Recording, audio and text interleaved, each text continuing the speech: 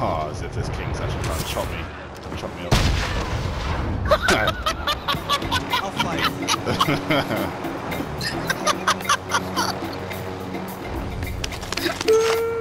oh my god!